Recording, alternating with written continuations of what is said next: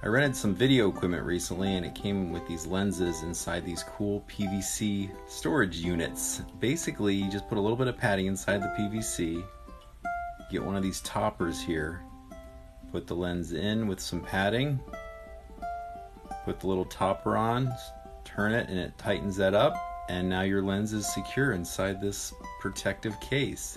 And the cool thing is because PVC comes in different sizes, you can pack up all your different size lenses. I thought this was a really cool idea and wanted to share it with you.